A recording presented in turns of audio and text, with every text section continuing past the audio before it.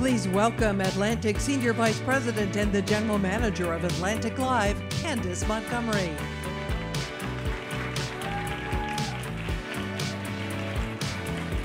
Good afternoon, everyone.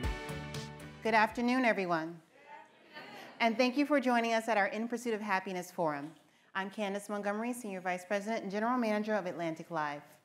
If you were with us this morning, we're happy to have you back. If it's your first time, welcome.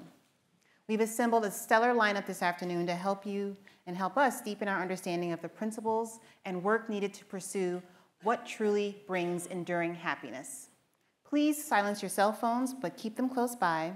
We'd love to hear your thoughts about In Pursuit of Happiness, so be sure to share a few words on social using hashtag TAF23.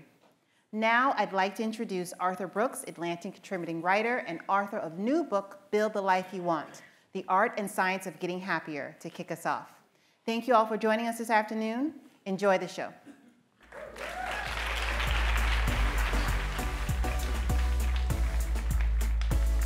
Hey.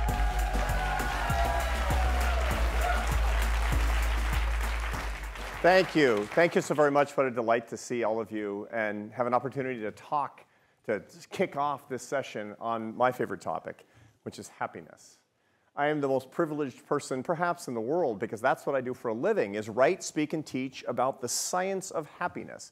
I'm trained as a social scientist and, and at this point in my career, I get to teach a class on the science of happiness at the Harvard Business School and write about it for the best magazine in the world. What a wonderful privilege that is. Now, when people meet you in the United States for the first time, they always ask you the question, what do you do? That's how you break the ice, at parties in America. I also have lived about you know, half of my adult life in Spain, where the icebreaker question is, where are you going on vacation?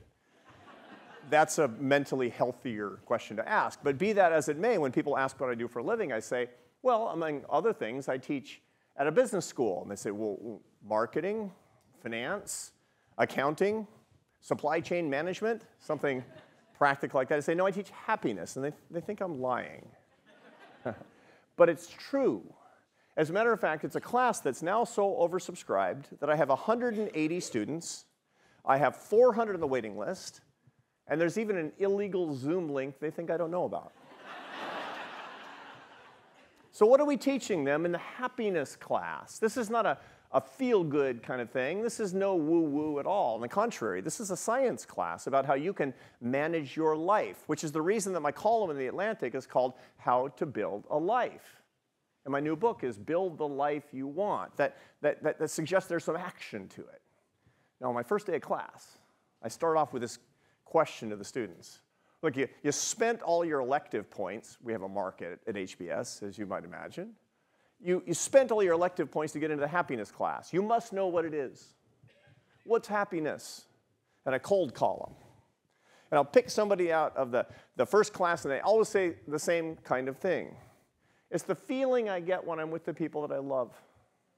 It's how I feel when I'm doing what I enjoy. And I say, wrong. Happiness is not a feeling. And that's incredibly good news.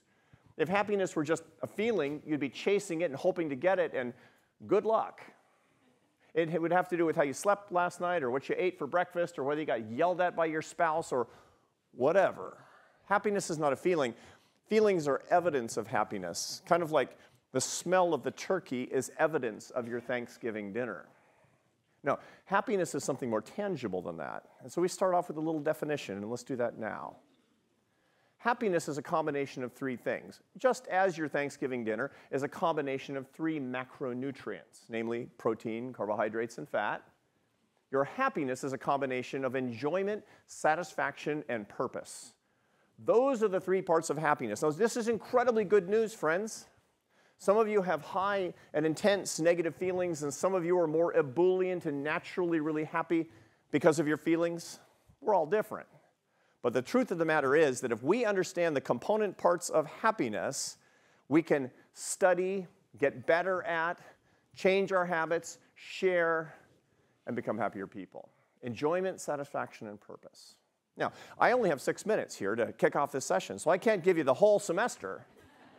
But I will tell you that to get more enjoyment and satisfaction and purpose in your life, you really you really need only to do four things. You need to have a portfolio of four habits. There's a lot of stuff that goes into happiness you don't need to worry about. Don't worry about your genetics. They control a lot of your mood from moment to moment, it's true. But if you have your habits right, you manage your genetics.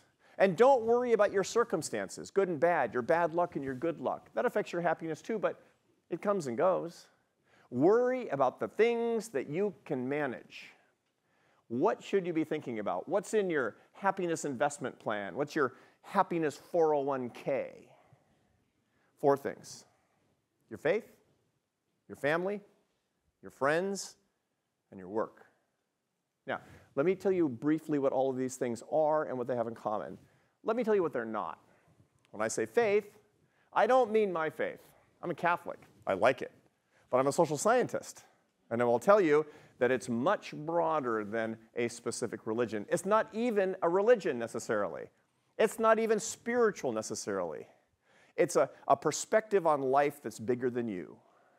It's a notion that life can transcend your narrow existence. Why? Because you need to get small if you want to be happy.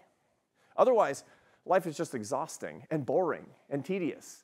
My job, my commute, my money, my sandwich, it's horrible. it's like watching the same episode of the same sitcom over and over and over again compulsively without relief. You need peace and perspective, and you can get that in many ways. Maybe studying the Stoic masters, maybe walking in nature without devices, maybe studying the fugues of Johann Sebastian Bach, maybe a meditation practice, or maybe like me, the faith of your youth. But you must do something. Faith. Family. Family life. Defined in different ways for different people, but you know who they are. And you know if you're not talking to them and you have a schism, how painful that is. Sometimes it's inevitable. In cases of abuse, I got it. But let me tell you a shocking fact about America today. One in six of us is not speaking to a direct family member because of politics. That, my friends, is insane. Abuse is one thing, but differences of opinion are not abuse. Don't do that to yourself. Third is friendship. Now, friendship seems pretty straightforward, but, but it isn't, is it? I work with a lot of very successful people over the course of what I do. I teach at the Harvard Business School write for the Atlantic, so I meet a lot of people that are really got going on, and they're so lonely. They're, they're surrounded by people all day, leaders. They're so lonely. Why? I'll ask, how many friends do you have? Hundreds. That means zero. Why? Because if you tell me you have 300 friends, you know what they all have in common? They're deal friends, not real friends. You know the difference between real friends and deal friends? Deal friends are useful, real friends are useless. I don't mean worthless, I have those too. Do you have enough useless friends? It's number three. And last but not least, it's, it's work. But when I talk about work, I'm not talking about a high paying job or a prestigious job. No, no, no. I'm talking about just two characteristics. I've looked at public sector, private sector, nonprofit sector, above average income, below average income, high education, low education, blue collar, white collar, no collar. I've looked at every kind of job. None of that stuff matters for joy.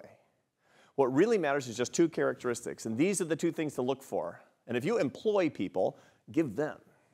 Number one is you need to earn your success, to feel like you're creating value with your work and that it's being recognized and rewarded.